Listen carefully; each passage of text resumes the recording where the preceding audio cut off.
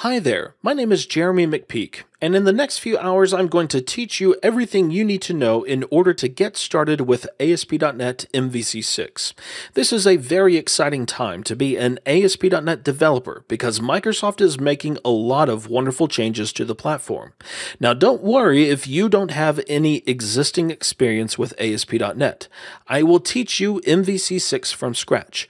All you need to know is C Sharp, and you'll need to download some version of Visual Studio 2015 from visualstudio.com. Now, if you go to the downloads link, you're going to see Visual Studio Community, Ultimate, and Code. Now, I use Visual Studio Community in this course, so you can download that. It is completely free.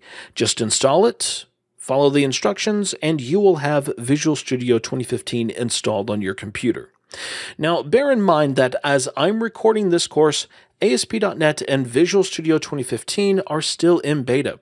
However, the platform is pretty stable, and you will learn what you need in order to get started with ASP.NET MVC6. So when you're ready, cue up the first video and we'll get started.